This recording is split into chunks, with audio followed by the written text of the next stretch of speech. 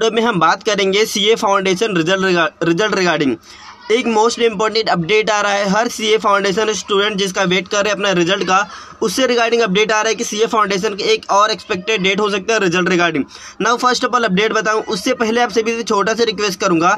अगर आप सभी यूट्यूब चैनल पर हो तो प्लीज़ चैनल को लाइक सब्सक्राइब एंड जो साइड में बेलाइकन वाला बटन है पर प्रेस कर देना, ताकि सीए एग्ज़ाम रिगार्डिंग कोई भी इंपॉर्टेंट अपडेट अनाउंसमेंट नोट्स आप मिस ना कर सके। नाउ अपडेट स्टार्ट करते ये अपडेट ट्विटर हैंडल पे चिराग गुप्ता सर ने ट्विटर हैंडल पर ट्वीट करते हुए कहा कि सीए फाउंडेशन एग्ज़ाम जो हुआ था, उसका मोस्ट प्रोबेबल चांसेस हो सकता है रिज़ल्ट का twenty four two twenty five means की ट्वेंटी फोर्थ जैन तक आपका सीए फाउंडेशन का रिज़ल्ट आ सकता है फिर ट्वेंटी फाइव तक। बट ये एक एक्सपेक्टेड डेट है।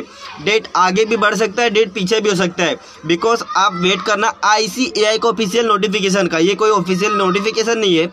बट जैसे ही आई सी आई को ऑफिशियल नोटिफिकेशन रिलीज़ करती है तो ये चैनल आपको सबसे पहले अपडेट कर देगा।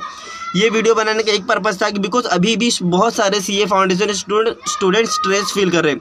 कि सर सी ए इंटर का रिज़ल्ट आ गया सी ए फाइनल का रिज़ल्ट आ गया। बट सी ए फाउंडेशन का रिज़ल्ट कब आएगा? तो एक एक्सपेक्टेड डेट है कि ट्वेंटी फोर या फिर ट्वेंटी फिफ्थ जैन तक सी ए फाउंडेशन का रिज़ल्ट आ सकता है बट फिक्स नहीं है। अगर कोई भी I C I official notification announcement notes कुछ भी अपडेट करती है तो ये चैनल आपको सबसे पहले अपडेट कर देगा। तो प्लीज़ चैनल अगर यूट्यूब चैनल अपने हो तो चैनल को लाइक सब्सक्राइब एंड जो साइड में बेल आइकन वाला बटन से प्रेस कर देना। Thank you student